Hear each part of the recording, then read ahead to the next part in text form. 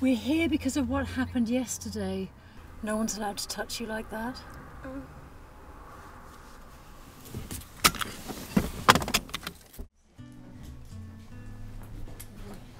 Hi, how are you?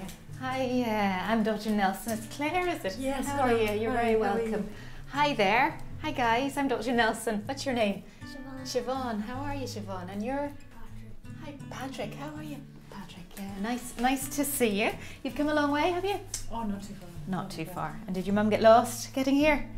Are you the driver with you, did you? You're Garda, Garda Murphy, how are you? You're very welcome. Um, what I'm going to do now, guys, um, I appreciate this is all very strange for you. I'm going to borrow your mum if that's okay, and we're going to go next door and have a, a, a chat. And Neve's going to stay with you and look after you for a minute. And then when I've finished talking to your mum, I'm going to bring you through next door and show you around. Is that okay? I'll borrow you, Claire, can I? And we'll, we'll move Okay, next door, and Neve will stay there with you.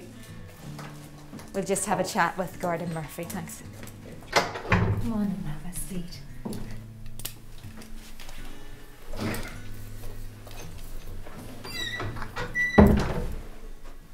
Now, Claire, um, the first thing I need to do is get your consent for this uh, process, the uh, history and examination.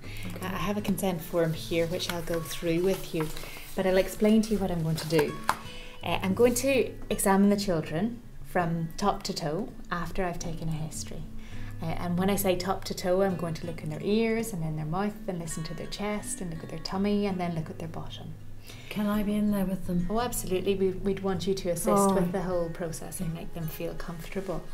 When it comes to the examination of the bottom, I'll be taking photographs. Photographs. Yes, the reason for taking the photographs is primarily so that the children won't have to be examined a second or a third time. If there's a finding, then it will be recorded and that can be used as evidence in court. Or if there's a, a medical reason for follow up, then we have the photos to compare with. And do I get the photographs? No, the photographs will be stored here and they'll be stored with the medical notes and they'll be locked away securely in a filing cabinet. Now, the kids can't be identified from the photographs. There's no names, there's no faces, there's a number assigned to each child, uh, and they can't be identified. So it won't mean anything to anybody else other than me or another expert.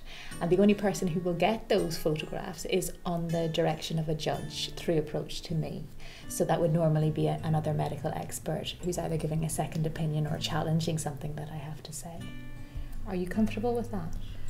And uh, do you tell me if you find anything? I will tell you what has happened and what we found, and we'll sit down at the end of the examination and do that.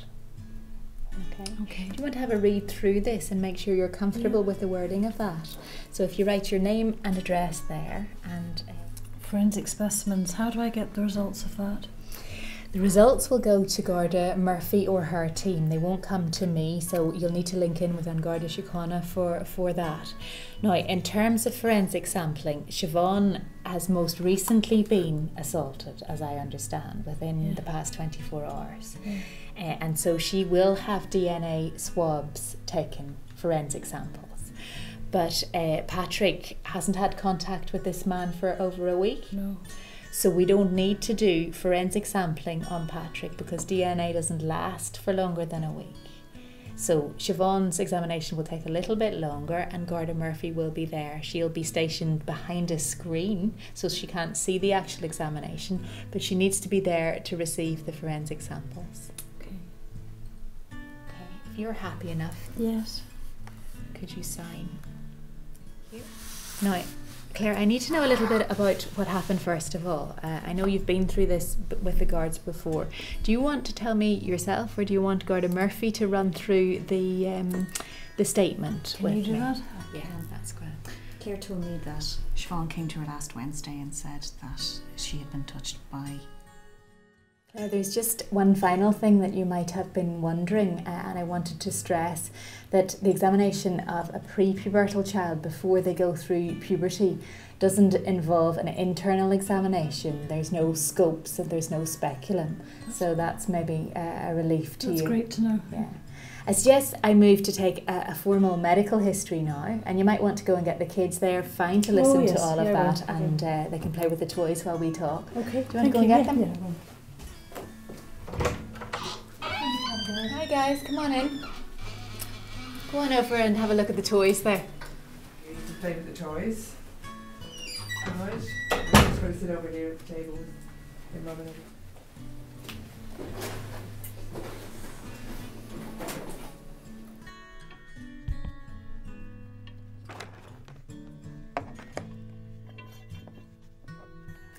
So, Claire, I need to take some details about Siobhan's medical history to start with.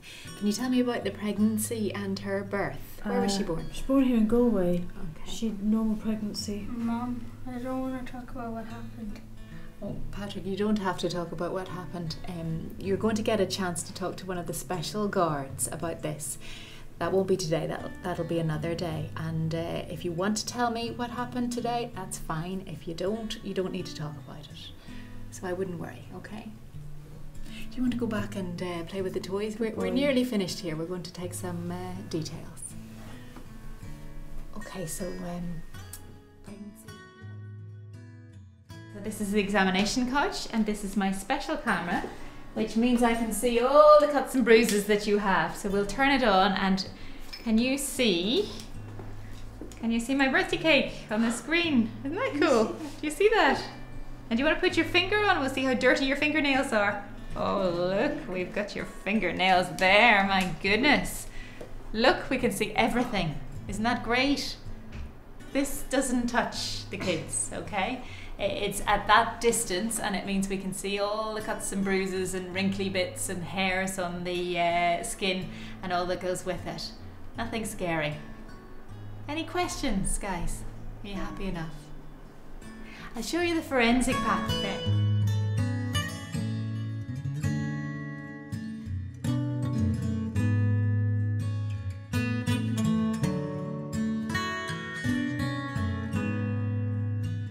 Garda Murphy, can I get you to come and pop a pair of gloves on? And we're going to open you, this and show you what's inside.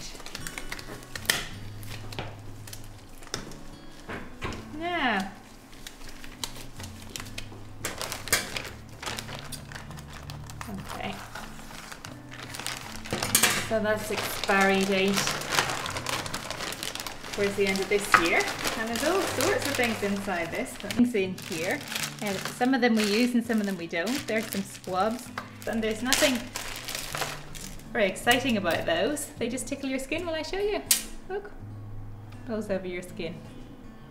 That doesn't hurt, does it? No? So we're going to, uh, that's the most that I'm going to do. We've got combs in here. We're going to comb your hair. You see? And um, that's about it. So I'm going to keep these here and then I'm going to hand them to Garda Murphy when I've finished. Any questions, guys? No. Claire, are you all right with this? Yes, Yeah. that's fine. Okay. And during the examination, I want you to sit in, in this chair. That's fine. Uh, so your mum is going to sit beside you the whole time. Is that okay? Yeah. I'm going to start by looking in your ears, and then I'm going to look in your mouth and listen to your chest, feel your tummy. I'm going to have a quick look at your bottom, and then we'll get you dressed, and that's you done. Okay? Yeah. Who are we going to start with? I think it's Siobhan. Is it? We start with you. Yeah.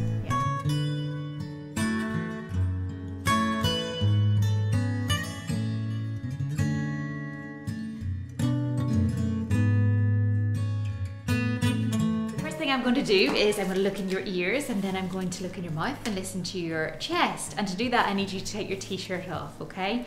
I'm going to look at your body for any bruises or sore bits and then you're going to put the top back on again. And then we're going to look at your bottom.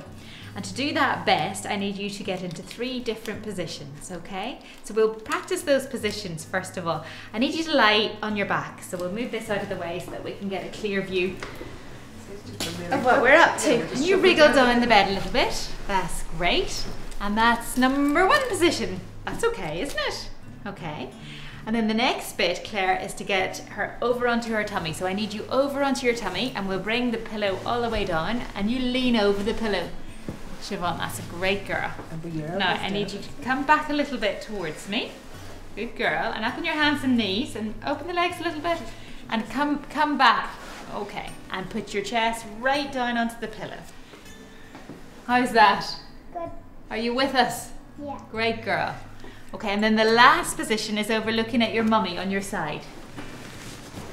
That's a good girl. So you curl up into a ball. Great girl. That's it. and that's it done.